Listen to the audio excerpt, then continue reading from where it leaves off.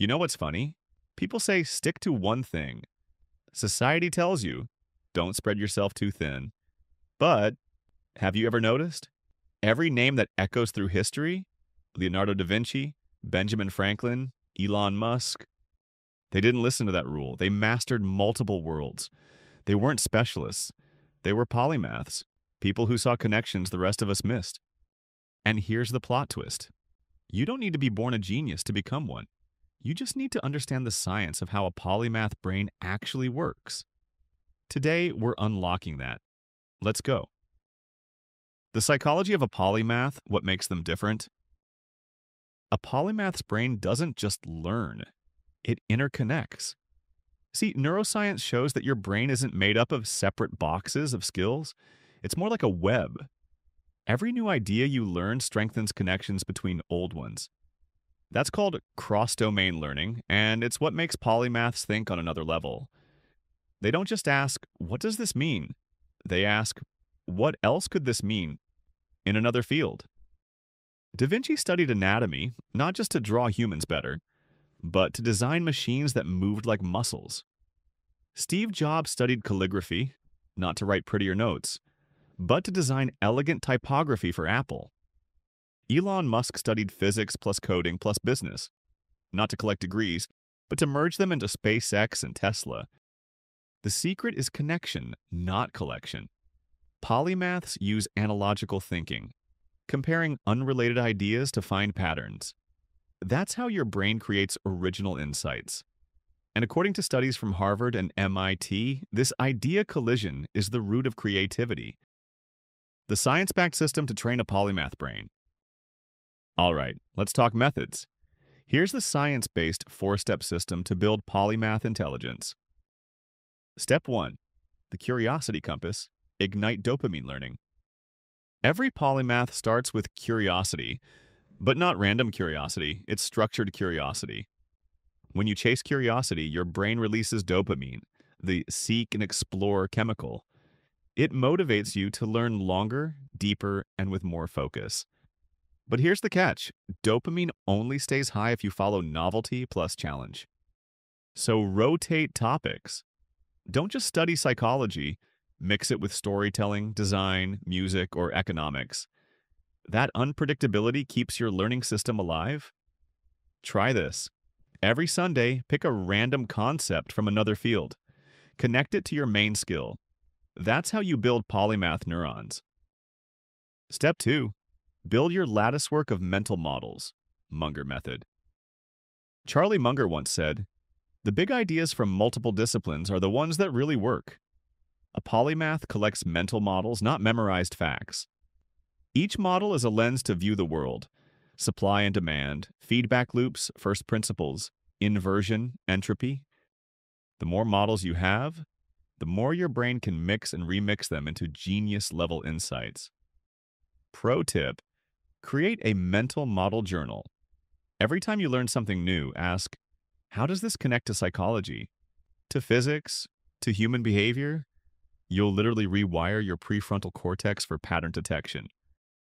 Step 3 Learn with the polymath pyramid. This is the three layer system polymaths use without realizing. Layer 1 Explore breadth. Expose yourself to as many different domains as possible art, coding, neuroscience, philosophy, design. Don't judge, just explore. Layer 2 Deepen depth. Choose one topic to master intensely for 60 to 90 days. Go deep until you can teach it. That's where long term memory forms. Layer 3 Connect integration. Force cross connections. Ask How does storytelling use psychology? How does design use math? That's when your brain fuses knowledge into innovation. Step 4 Teach, simplify, and apply. Here's something wild teaching activates retrieval pathways in your hippocampus. It locks learning into long term storage. So don't just learn, teach it. Make videos, write threads, talk to friends. Every explanation forges stronger connections in your brain. Einstein said it best if you can't explain it simply, you don't understand it well enough. The polymath habits that build a legendary brain. Let's go practical again. Habits. Here's what modern neuroscience says actually builds polymathic intelligence. 1. Micro learning bursts. Learn for 25 to 30 minutes multiple times a day. Your brain retains more through spaced repetition than marathon sessions. 2. Cross training for the mind. Like athletes train different muscles, train different thinking muscles, logic, math, emotion, art, structure, writing, randomness, music. 3. The Curiosity Loop Journal. Every day, write one question that connects two unrelated fields, e.g., what can biology teach us about business? 4. Mind wandering time. Neuroscientist Marcus Raichle found eh, that creativity peaks when your mind isn't focused. Let your brain daydream. It's literally connecting ideas in the background. 5. Sleep like a scientist. During REM sleep, your brain cross-links new memories with old ones. This is when creative insights are born. That's why Da Vinci took power naps and what he knew before science proved it. The polymath mindset, where most people fail. The biggest obstacle isn't intelligence, it's ego. Most people want to look smart in one field. Polymaths are okay with feeling dumb in 10.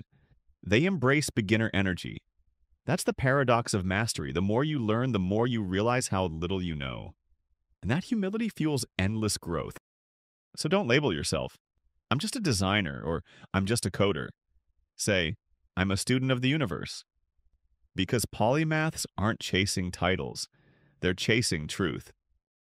Imagine a life where you could talk about art and science, where you could build, design, teach, and create, all from one evolving mind.